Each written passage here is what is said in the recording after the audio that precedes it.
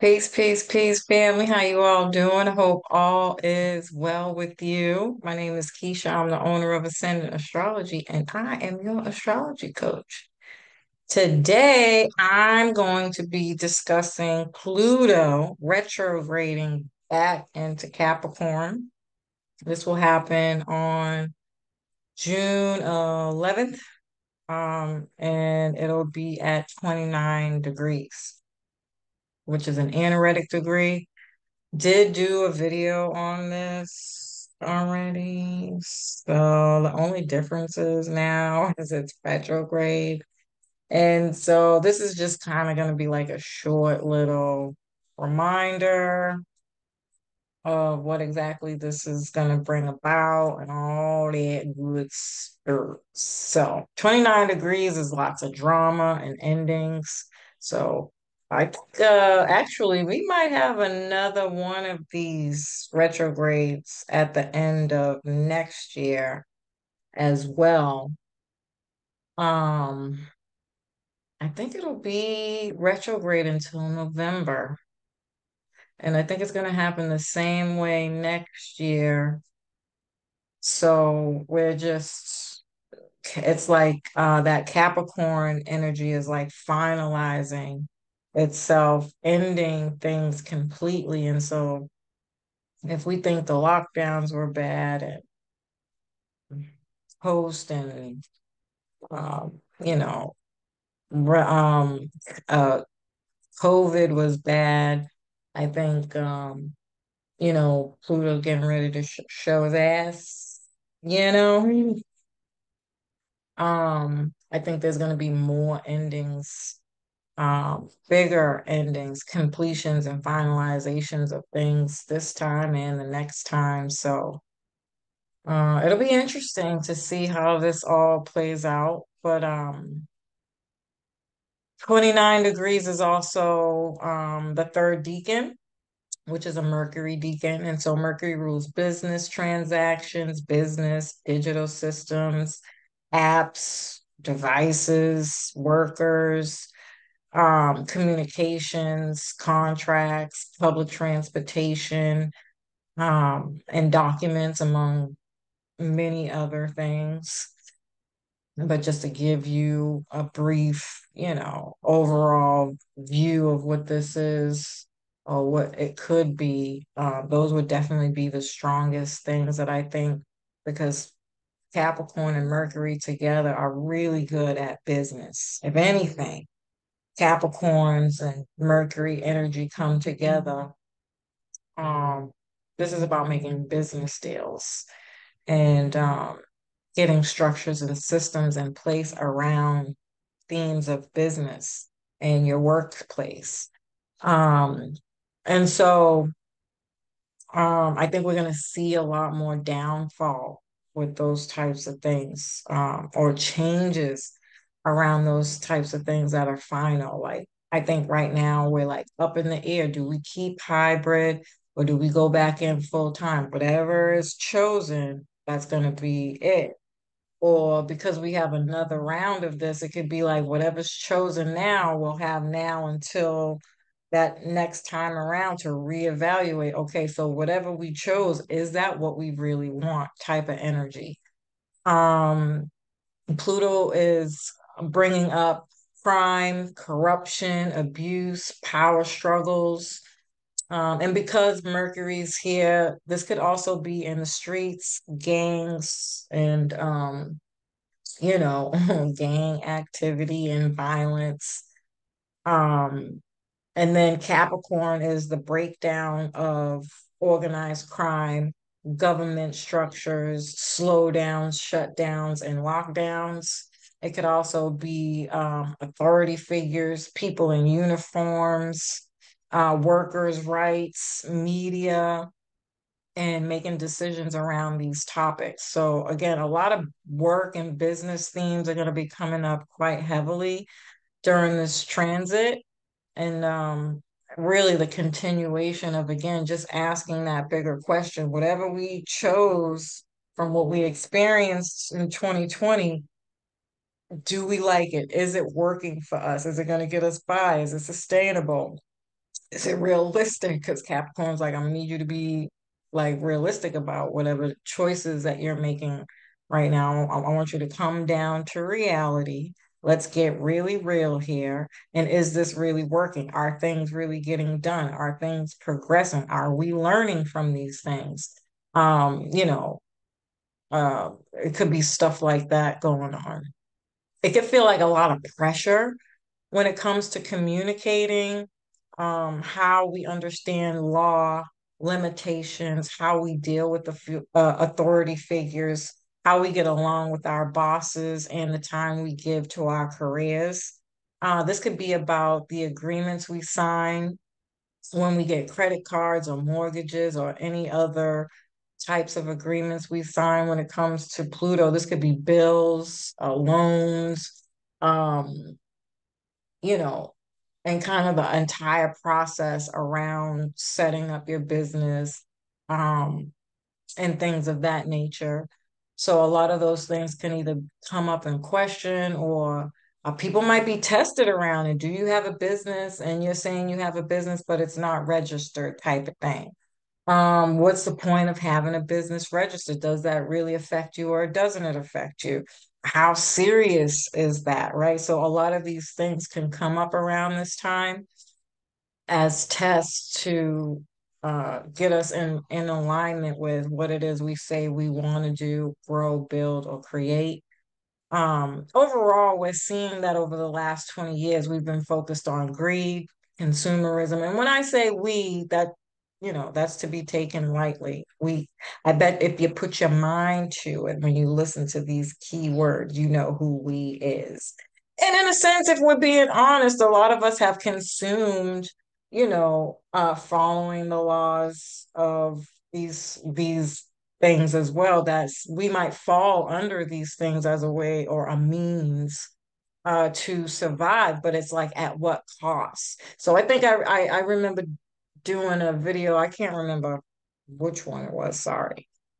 But I was talking about how we could get to a point where people are realizing that um or people might start to stand up when it comes to sacrificing their values, who they are, and what they want for money. So we might see, like in Hollywood, a lot of people are dropping their contracts despite how much money they're getting, like fuck that. I, I don't care. You can give me all the money in the world. What I'm not finna do is sacrifice my values, my culture, my beliefs, my morals, my ethics for some, you know, big dollar contract amount, right? Um, and on an everyday level, it could still be something to that effect, but it might not be so much the money. Like in your career, is like your boss is a dickhead. And even though you can ignore them and, and go and work around them and whatever, it's like, I'm not going to be coming to work uh, tiptoeing, walking on eggshells to make you comfortable. Meanwhile, I'm living in turmoil and, you know, with the microaggressions and all those kinds of things that could be coming up quite heavily where you just might get people that stand up and, and say no I'm not going to do that. I'm not going to make that sacrifice anymore. So there could be a lot about um, what you're willing to sacrifice um, and what you're not when it comes to your beliefs, morals, and ethics. Um, so again, overall, we are seeing that over the last 20 years, we've been focused on greed, consumerism, and what we tried to obtain only to find out that it was false a false sense of security and stability, especially around credit cards, loans, mortgages, and agreements. Um, this can bring up the question of who makes the rules around these things. Um, this can lead to arguments around whose fault it is and how we make decisions around these themes. You know, are we in fear? Are we shopping out of ignorance? Are we indulging out of ignorance? You know, um, just kind of like uh accepting the culture that's been sold to us, knowing damn well we don't have that same kind of privileged mindset um, to live within that code of ethics, right? And so, really, really, really challenging people who don't have what it takes to live at the means of those things. Like, you live in the projects. Why the fuck do you have a Ferrari? I'm being so dramatic, but I hope that makes sense about how, like, you know what I mean? Like, come on, what are you doing? you know, it could be stuff like that that's coming up. Like, are you living above your means when you really are not in the position to do so? And, you know, at the end of the day, free will and all, you could do whatever you want. But the pressure from Pluto and Capricorn is going to get so combusted it's going to feel like you got a headache, or if you don't do it, it's going to get so overwhelmingly painful that you are going to have to change or die. And that could be obviously metaphorically, but Pluto does rule life or death. you know, birth and rebirth, you know, transformation, a change. And so looking at these situations differently is going to become extremely crucial to surviving this transit, especially with all the Leo energy, having Venus and Leo for the next four months. Um, ooh, I'm, I'm out. Okay, I will not be an astrologer at this time. I plead the fifth. and so um, it's going to be interesting to see how this plays out for people. You want to look at your Capricorn area of life, what was coming up for you back in 2020 and, you know, prior to March of this year, what kind of things were you dealing with in your Capricorn area of life? Did you finalize them? Did you get a structure and system around them? Are you saying no and putting up boundaries? Um, you know, are you dotting your T's and crossing your I's? Are you holding yourself accountable? Are you responsible? Are you mature? You know, how have you bossed up in your life in a way that says, I can afford to live the, the means that I'm living by, type of thing, you know? Um, either way, you know, we're going to be getting to the root of what real security is, essentially. That's what Pluto and Capricorn really wants us to do. Are we building a legacy? You know, um, are you preparing for uh, your your children who are coming up after you? You got to remember Capricorn is the opposite axis to Cancer. This is all about family and land and um, you know, leaving something behind for your family and you know, taking care of the kids, teaching them right from wrong, and having them do things that'll allow them to follow in your footsteps. And maybe they don't have to be doing the same thing, right? We in America are like the only people who get to have this argument like, well, kids can grow up today and do whatever the fuck they want. Meanwhile, you look at China and other places and you go to their stores, they got their whole family in there. And I swear, every time it sounds like they're fucking arguing. It that's probably why those kids don't want to be there doing that shit. But they have something to run back to. If they go get a job, shit don't work out, they can always go back to work with mom and pops type of thing. Our kids don't have that. And so we got to get past this idea of free will to the point where it's in detriment to our culture and leaving our kids to have to pick up pennies to uh, a person or a system or a structure that really don't give a fuck about them. You know, it's it's it's like that kind of energy. Um, it'll be interesting to see how it how it all plays out, but I, I can almost guarantee you a lot of people are not gonna like the feeling.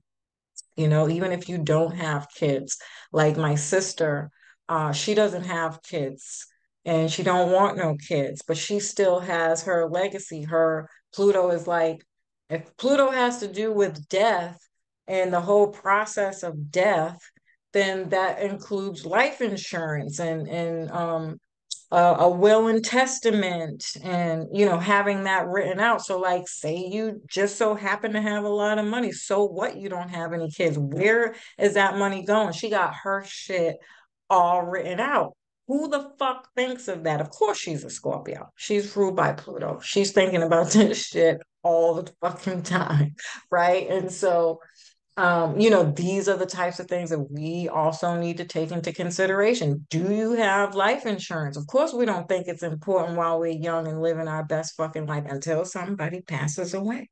And now we got to ask the question well, who's paying for that shit? Your ass should have paid for it by paying for life insurance. you know, we have to get away from this idea of I've been I've been talking about this for a really long time, and we seem to have a really big fucking problem about participating in the 3D, but you have to live in this world. And people are coming in and out of this world. At the very least, you wanna you wanna leave breadcrumbs. Who's that? Hanson, Hanson and Gretel for the people who are left behind. Don't just leave them here having to suffer and relive trauma and pain over and over and over and over and over again. And then you wonder why we can't escape the 3D. You're not going through the process. And I bet you think you ain't got nothing to do with this. It's not your fault. It's not your problem. You're going to be just fine, not realizing that you're leaving a mess, a heap of shit for the people who are left here when you go. Is that some selfish fucking shit? If you really think about it, it's ignorant right? And I get it. You know, I'm not for any of the shit here on this 3D earth either. But like I told you, you when you're being taught a lesson through your spiritual blessings and evolving as a human um, on this earth, you can't take shortcuts. You can't hide stuff under the rugs. You can't go around it. You can't cheat. You can't take, you can't. You just can't do it. Otherwise, whether it's through you or your bloodline, you are undoubtedly leaving your karma behind with the dusty mouth, like just blowing up all your dust in somebody else's face who's coming after you.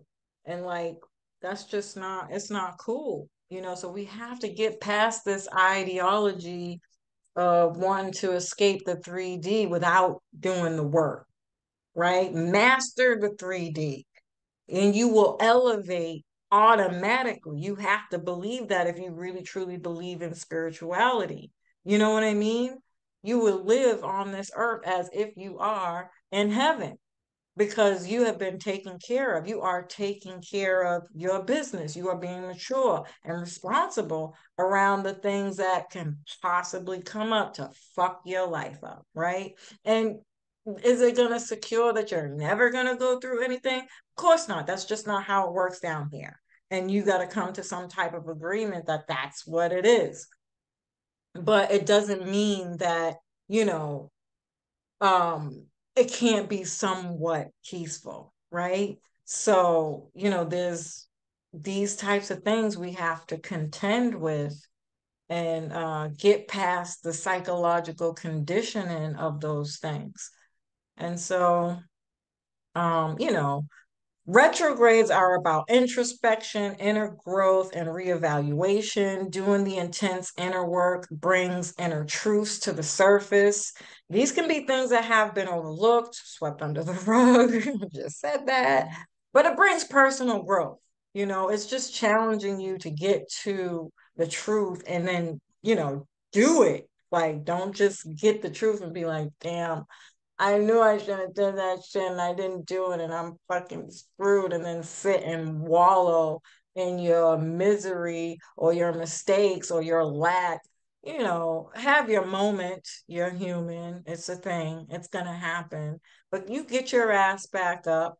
You pull yourself up by your bootstraps and you get to fucking business. Get to work. Make it fucking happen. Like, get on the good foot. Like, let's fucking go. so, like, you know, the pain for staying the same will feel like death. Like, that's just what it is, period. I got nothing else for you guys. I'm trying to be nice here, but I got to tell the truth because I don't want spirit coming for me.